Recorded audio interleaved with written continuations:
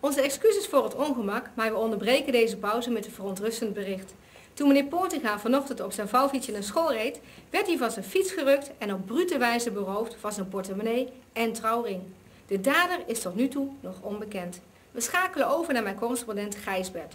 Hallo, ik ben Gijsberts en we staan hier op het plaatsdelict, bij meneer, waar meneer Portinga net is overvallen. Meneer, wilt u hier iets over zeggen? Ja, er is iets, iets eh, vreselijks gebeurd. Ik kwam, ik kwam aangefietst met mijn fietsje en eh, ik werd plotseling van de, van de fiets gerukt. Er kwam iemand achter die boom vandaan, iets, iets met, een, eh, met een muts, een puntmuts en een- zo- zo'n witte baard. En, en nu ben ik mijn ring kwijt. En, en, en hoe moet ik dan thuiskomen vanavond? En wat zegt mijn vrouw? Ik krijg misschien wel klappen van haar als ik geen ring heb. Wat moet ik doen?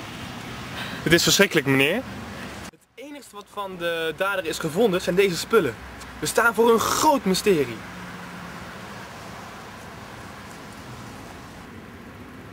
Terug naar de studio. Dankjewel Gijsbert. Wat vreemd allemaal. Hopelijk komen we snel met meer antwoorden. Heeft u iets gehoord of heeft u iets gezien? Bel dan met onze tiplijn. Tot de volgende keer.